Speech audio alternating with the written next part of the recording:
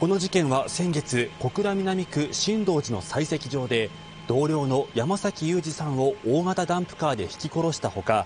別の現場責任者の男性も引き殺そうとした疑いで当時採石場で働いていた高橋博之容疑者が逮捕・起訴されたものです。高橋容疑者は直前にトラブルになっていた61歳の同僚の男性と亡くなった山崎さんが並んで立っていたところにダンプダンプカーで突っ込んだとみられています。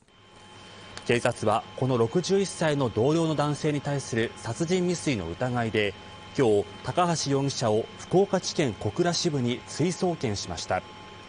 取り調べに対し高橋容疑者は行為について認めた上で殺意については当時の感情はよく覚えていないと話しているということです。